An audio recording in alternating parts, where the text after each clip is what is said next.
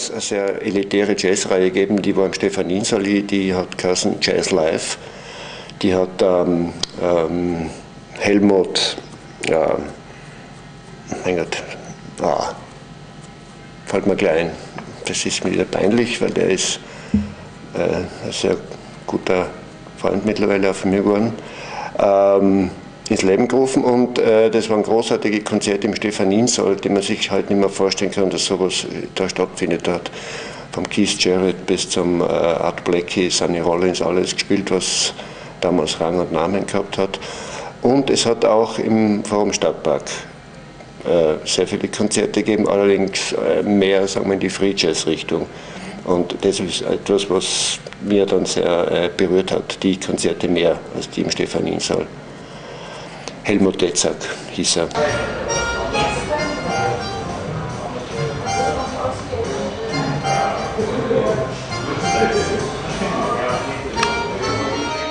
Damals hat es eine legendäre Big Band gegeben, die Jazz Big Band Süd hat die geheißen, die der Sigi Feigl gegründet hat und viele Jahre geleitet hat. Ich glaube, in Summe waren es 19 Jahre.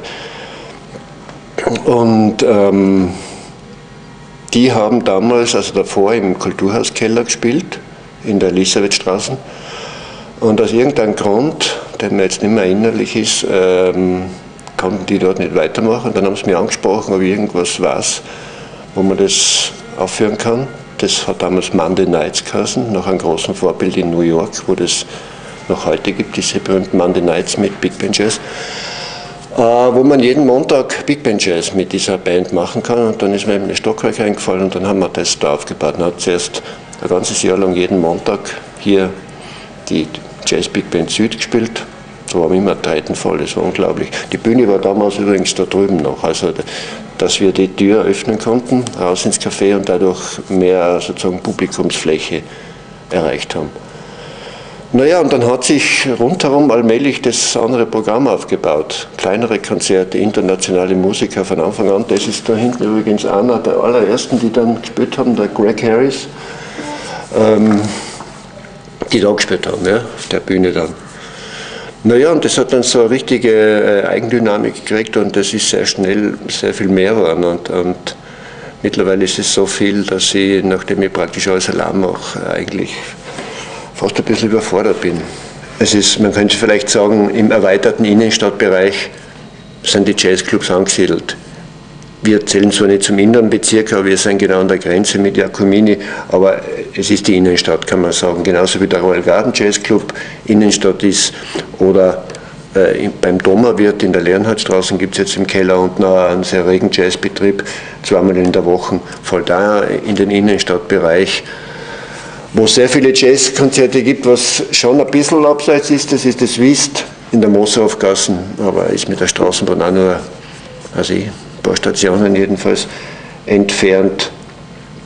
Und andere Konzerte wie im Orpheum oder in der Generalmusikdirektion, die Jazzkonzerte, die sind, sind eigentlich auch im sogenannten erweiterten Innenstadtbereich.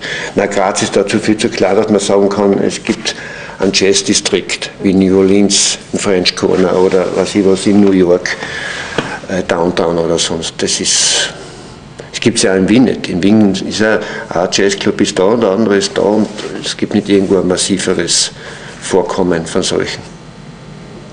Ähm, ständig an Kämpfen sind die Veranstalter im Jazzbereich immer und nicht nur in Graz. In Graz vielleicht ähm, ein bisschen mehr als in Wien jetzt, weil, weil es einfach dermaßen viele Veranstaltungen gibt.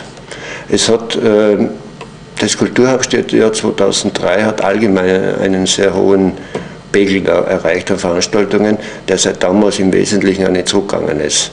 Also damals sind auch viele, zum Teil sogenannte viele schlafende Hunde, das ist jetzt nicht abwertend gemeint, äh, geweckt worden und die sind dann einfach geblieben auch. Ja, es ist ja irgendwie verständlich.